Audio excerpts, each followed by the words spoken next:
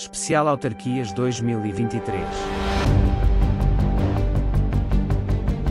Com Joaquim Chibalo e Benigna Mujaíde. Saudações. Várias equipas estão já distribuídas. Respondemos a partir do onde neste momento está a decorrer Especial Autarquias 2023. Aos finais de semana, análise de quem entende de política. Todos os dias, às 9 horas no Diário da Zambésia. Saudações e sejam bem-vindos ao Diário da Campanha Eleitoral a ser transmitido no Diário da Zambésia, concretamente na cidade de Quilimani. O sexto dia da campanha foi marcado por promessas dos três principais partidos políticos, eh, com destaque para o MDM, a Renamo e a Frelimo.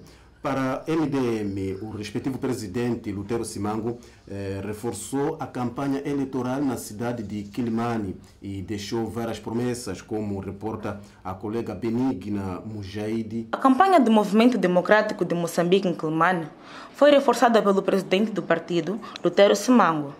Neste domingo, o MDM prometeu aumentar transportes e manter a cidade sem lixo.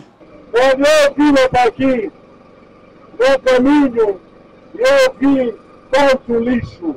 Estamos aqui para falar convosco.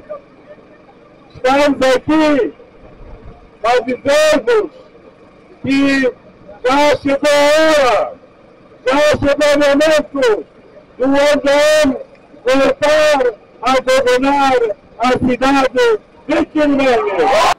Aquele político que esteve ao lado do seu cabeça de lista, Bruno Dramussa, garantiu também, caso seu partido vença as eleições, poderá reforçar o abastecimento de água ao nível da autarquia. E visitei o bairro em que disseram que ia, ia construir lá uma ponte. E esta ponte não existe.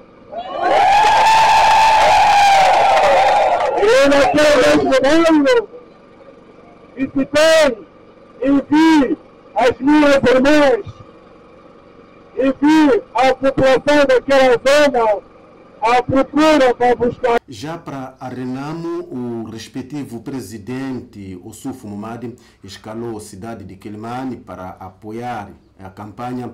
Neste contexto, escalaram uh, o campo de Namuinho, onde namorou o eleitorado com várias promessas. No decurso da campanha eleitoral, rumo às eleições autárquicas marcadas até então para 11 de outubro, o presidente da Renamo veio a Quelimane para reforçar e conquistar o eleitorado para continuar a confiar no seu partido. O Sufumumad namorou os munícipes de Namunho neste domingo, por sinal, o sexto dia da campanha eleitoral, onde pediu voto de confiança no segundo lugar do boletim e só assim, segundo ele, a Renamo nunca irá deixar de governar a cidade de Quelimane. A população, os munícipes, estão a ver o que, que a Renamo está fazendo, não estão a ver?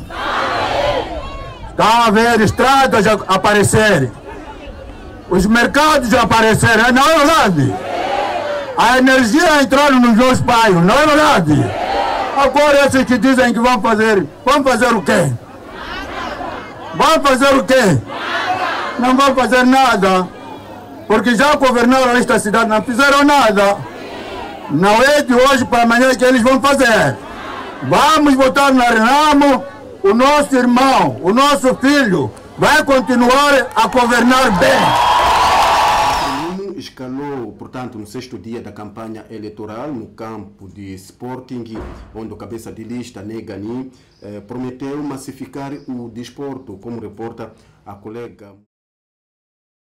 O cabeça de lista da Frelimo, Lourenço Gani, garantiu que caso o partido vença o escrutínio, vai apostar no desporto, como forma de motivar os jovens a não enveredar por maus caminhos como é o caso de consumo de bebidas alcoólicas e outros tipos de drogas ilícitas. Pela manhã deste domingo, Gani esteve numa missa na Catedral de Climane, acompanhado por um membro sênior da Frelimo.